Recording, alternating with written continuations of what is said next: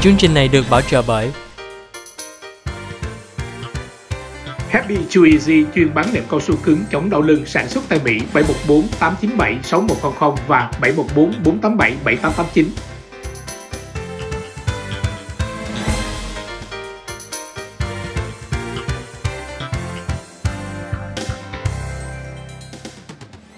Quý vị vẫn theo dõi chương trình Cà phê sáng với Nhi Huyền và Lê Thái. Hôm nay như có một cái bản tin cũng đi về phía Ấn Độ. Lê Thái cũng hay đưa những cái bản tin về Ấn Độ. Thưa quý vị, những người phụ nữ ở Ấn Độ hay bị cưỡng hiếp và bị ăn hiếp bởi những người đàn ông rất là nhiều. Nhưng một cái câu chuyện này, một người đàn bà đã đứng lên để bảo vệ đứa con của mình là một người phụ nữ Ấn Độ đã cắt đứt cái bộ phận riêng tư của người bạn trai khi mà cô ta đi làm về bắt gặp người bạn trai đã cố gắng để mà à, hiếp đứa con gái của người à, của đứa con của mình mà đứa con gái chỉ có 14 tuổi thưa quý vị. Và người phụ nữ này là 36 tuổi không được nêu tên ở trong bài báo và đã sống với bạn trai trong 2 năm à, sống với người bạn trai này trong 2 năm ly thân người chồng từ vì uống rượu và cũng đập đánh quá nhiều đây thì cô ấy trở về làm việc trong một trang trại thì bắt gặp bạn trai là cố tình làm cái điều đó với làm đứa con 14 tuổi. Nhưng mà một điều nữa khi cô ta cố gắng để mà cứu đứa con của mình thì người bạn trai này xách đồ ra đập cái người đàn bà này nữa thưa quý vị và đã, đã tấn công. Vì vậy cô ta đã nổi điên lên vào vô trong nhà lấy một cái con dao ở trong nhà bếp và cắt đứt cái bộ ờ, cái cái của quý của anh chàng này luôn. Thì anh cô ta muốn nói đây là cái một bài học cho cái người đàn ông này. Và cô ta nói cô ta không hối hận để mà làm cái điều này. Thì cái người đàn ông này ở bên Ấn Độ cũng bị bắt thưa quý vị 32 tuổi và bị tội hiếp dâm và là mối đe dọa của uh, cho xã hội. Và cái người đàn bà này thì người ta chưa có biết xử sự như thế nào không có nói lên ở trong bài báo mà cô ta có thể là cô ta sẽ được thả ra về từ bị người đàn ông này đã cố tình uh, hiếp người uh, đứa con của cô gái này. Và nhưng mà cái tình trạng uh, bạo dục với cái tình trạng vũ phu ở bên Ấn Độ xảy ra rất là nhiều thưa quý vị. Cho nên những người phụ nữ ở đây họ đã đứng lên để mà họ bảo vệ đứa con của mình và bảo vệ chính cái gia gia đình của họ. Để mà những người đàn ông này không tấn công họ nữa thì đây ở người phụ nữ ở Ấn Độ bây giờ cũng rất là tân tiến thưa quý vị. Và trong năm 1993 cũng có một người phụ nữ đã cắt đứt bộ phận sinh dục của chồng tại vì người chồng đánh đập người vợ quá nhiều thưa quý vị. Câu chuyện đó cũng xảy ra rất là nhiều. Dạ vâng, à, cảm ơn chị Như Huyền. À, kính thưa quý vị, à, quý vị có bao giờ mà tin vào sự luân hồi không? Chị có hiểu về chữ chữ luân hồi không? Luân hồi giống như là là, là kiếp trước, kiếp, à, kiếp sau. Trước, đúng, đúng rồi, kiếp trước, kiếp sau mà ừ ờ, Lê Thái thì Christian Lê Thái thì à, nói chung em em em em không có em không có nghĩ về những vấn đề đó nhiều. Catholic với Christian mình không có nghĩ về luân hồi không đúng nghĩ không? về luân ừ. hồi nhưng mà bên Phật giáo hay những cái đạo khác à, hòa hảo những cái đạo khác thì người ta. Dạ. nghĩ đến cái kiếp luân hồi thưa quý vị. Ngày hôm nay Lê Thái đưa đến quý vị một có thông tin về cái sự bí ẩn của một cái kiếp luân hồi của một cái cặp song sinh, một cái cặp sinh đôi ấy, giống y chang cái giống y chang chị em của người này khi mà đã mất rồi thưa quý vị. À, cái thông tin này vào ngày 5 à, à, Ờ, vào ngày 5 tây tháng 5 năm 1957 thưa quý vị tại một cái thị trấn nhỏ ở Hessam ở nước Anh thì có cô ờ, hai chị em một người là 11 tuổi một người là 6 tuổi tên là Joan Pollack và đứa em gái tên là Jacqueline uh, Jacqueline 6 tuổi Pollack luôn thưa quý vị đang trên đường đến nhà thờ với người bạn Anthony. Thì hai đứa bé này đã bị một cái chiếc xe ô tô nó tông phải và vụ tai nạn này đã khiến hai chị em nhà Pollack đã thiệt mạng ngay tại chỗ luôn và cái cậu bạn của họ cũng đã trút hơi thở cuối cùng khi đến bệnh viện. Tất cả là ba đứa trẻ đã bị chết ở trên đường đến nhà thờ. Và John và Florence Pollock là bố mẹ của hai đứa trẻ đó đã phải trải qua một cái năm buồn nhất trong cái cuộc đời của họ vì đã mất hai đứa con.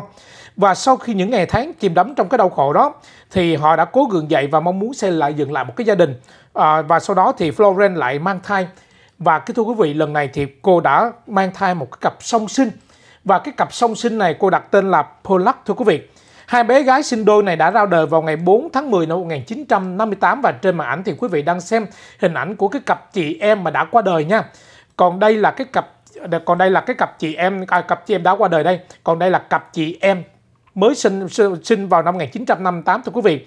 Tên là Gillian và chị và người em tên là Jennifer. Và khi hai vợ chồng của Pollack bắt đầu quan sát kỹ thì hai đứa này thưa quý vị hai chị em này ngoài việc cả hai chị em đều giống hệt nhau thì họ còn nhìn thấy là một cái đặc điểm trên cơ thể của một trong hai bé này.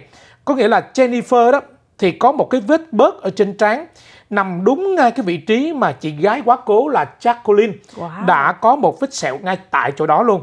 Và trùng hợp hơn nữa thưa quý vị là cả hai đều có một vết bớt trên eo giống như là hai cái người chị trong quá khứ đã bị tai nạn xe mà chết Wow. À, vì vậy cho nên gia đình của Pollack quyết định là chuyển tới White Bay để mà gác lại cái quá khứ đau buồn.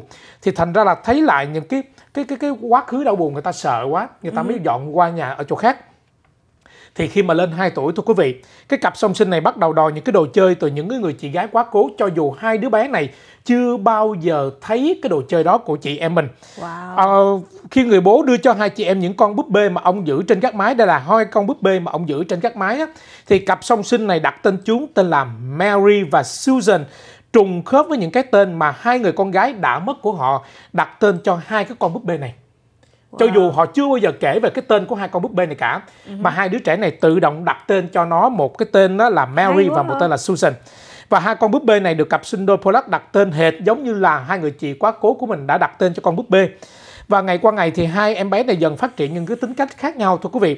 Trong khi là Gillian thì ngày càng ra dáng một cái người chị gái luôn ra lệnh cho em gái của mình. Còn Julian đó thì lại luôn khiến mọi người nhớ đến Jacqueline bởi vì luôn răm rắp nghe theo lời của người chị của mình và không một chút thắc mắc. Và mọi chuyện kỳ lạ hơn khi mà gia đình của họ đã chuyển về quê hương thưa quý vị. Thì khi đang ở trên về trở lại nhà cũ đó, uh-huh. thì tự nhiên là cặp song sinh này đã bất ngờ gọi tên những cái địa danh mà cặp song sinh này chưa bao giờ đặt chân tới. Wow. và họ nói là giống như là cái ngôi trường này mà John và à, Jacqueline đã theo học. Tu viện Hassam hoặc là một cái công viên mà giải trí gần ngay cái chỗ mà hai chị em này đã bị xe đụng chết. Và cả hai là đồng loạt đòi đón bố mẹ đến thăm cái công viên này và wow. mô tả những cái chi tiết công viên trước khi mà nó đến trước hai đứa trẻ này đến là giống như là đã đến đây cả chục lần cả rất là nhiều lần rồi. Rùng mình hả? Rùng mình như vậy. Và họ đôi khi mà đến nhà thì lại họ nhận ra mỗi cái ngõ ngách rất là quen thuộc thậm chí là hai đứa trẻ mà mới sinh đây này còn biết rõ tên của những người hàng xóm ở khu vực căn nhà đó. Và wow. có hành động và nói chuyện giống như là hai đứa con gái đầu lòng của họ. Và càng ngày thì uh, hai đứa này hai đứa bé này càng hoảng sợ với những cái thứ xung quanh. Thí dụ như những tiếng xe ồn của ô tô này nọ. Rất là hoảng sợ hai đứa cho trẻ sinh này nằm tại vì trong quá khứ thì hai cái người chị em này đã bị mất vì bị xe ô tô cán.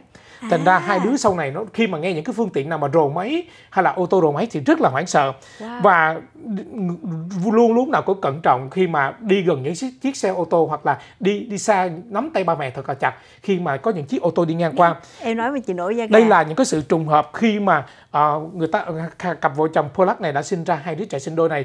Và khi mà hai đứa trẻ này bước lên cái tuổi sang năm thưa quý vị năm tuổi á thì hoàn toàn là những ký ức đó của họ là biến mất hoàn toàn. Ô là không nhớ nữa. Không nhớ gì cả và wow. tự nhiên là trở thành một hai đứa trẻ giống như là sinh ra sau này và không còn nhớ hoàn toàn về hai người chị đi quá cố cũng như không hoàn toàn không nhớ wow. về những cái gì mà hai đứa bé đã nói với nhau về quá khứ về những con búp bê về những ngôi nhà về những công viên về wow. những cái gì mà hàng xóm mà hai em bé này đã nói ở trong quá khứ lúc mà từ 1 tuổi cho đến 4 tuổi. Vậy là quý vị. nhớ tới cái khúc đó thôi. Chị nhớ khúc đó thôi và wow. trên màn ảnh đây là quý vị xem hình ảnh của hai chị em mà đã bị mất trong tai nạn ô tô và đây là hình ảnh của hai chị em sinh đôi khi mà uh, sau này là sinh năm 1958 thưa quý vị. Wow. Hiện nay thì hai cô này vẫn đang còn sống và lứa tuổi là sáu mươi mấy gần bảy chục rồi. Wow, vâng. quá hay. Cảm ơn Lê Thái rất là nhiều. Dạ vâng và kính thưa quý vị, thông tin vừa rồi đã kết thúc phần 4 cà phê sáng của tuần cũng là kết thúc chương trình cà phê sáng ngày hôm nay. Một lần nữa thì là Như Huyền và Lê Thái rất cảm ơn quý vị đã dành thời gian theo dõi chương trình. Chúc quý vị có một ngày thứ bảy thật là vui vẻ. Như Huyền và Lê Thái sẽ trở lại với quý vị vào ngày mai.